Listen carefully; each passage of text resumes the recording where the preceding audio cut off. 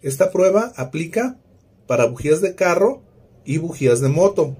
También para bujías normales, bujías de platino y bujías de iridio.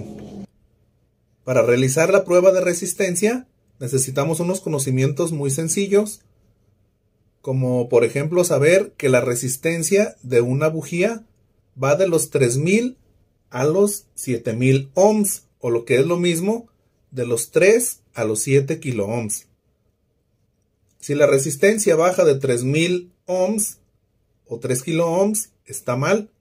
Y si sube de 7000 ohms o 7 kilo ohms, está mal. También estará mal la bujía si te da una resistencia de 0 o si te aparece en la pantalla de tu multímetro un 1 o una OL fijos. Para esta prueba también necesitamos saber que esta parte de la bujía se llama terminal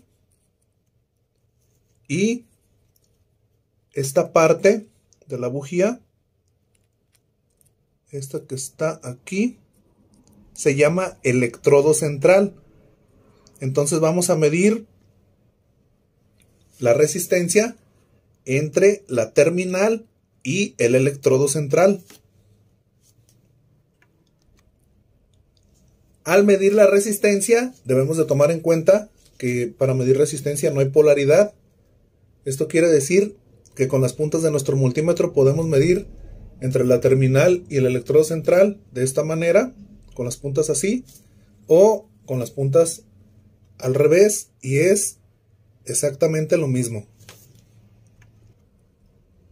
Para medir la resistencia de nuestras bujías, vamos a poner el selector en la escala de 20 kilo ohms o lo que es lo mismo 20.000 ohms.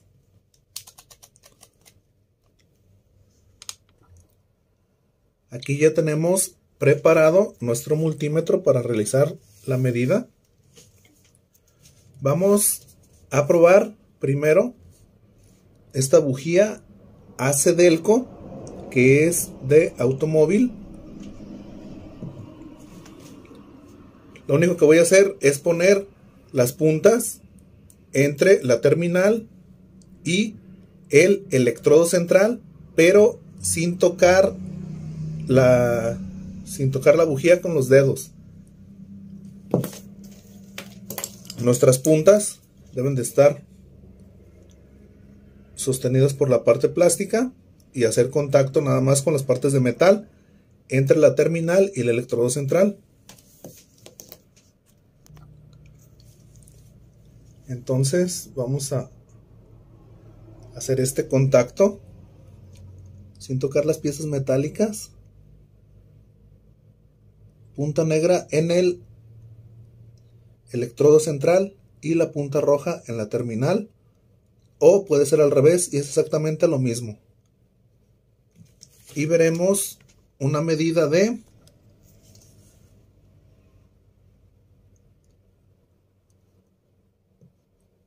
está una medida de 4.48 kilo ohms o lo que es lo mismo 4400 4480 ohms lo que está entre 3000 y 7000 entre 3000 y 7000 ohms.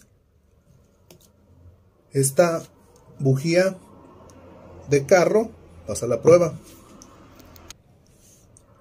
Ahora vamos a probar esta bujía de motocicleta o de moto es marca Autolite y vamos a realizar exactamente el mismo proceso. Aquí la diferencia en la bujía de, motocicleta es que el electrodo central es más pequeño y en la punta tiene como un, taponcito. Vamos a retirar para que sea más fácil la medición.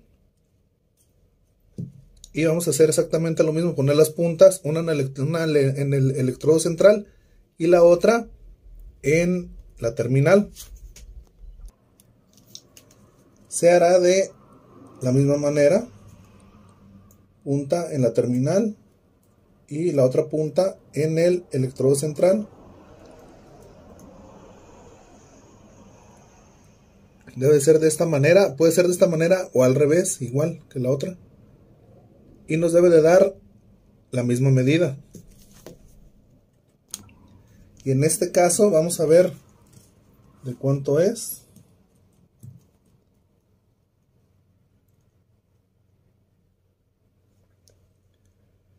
En el caso de, la bujía de motocicleta es de 6230 ohms o 6.23 kilo ohms, lo que está entre 3000 y 7000 ohms.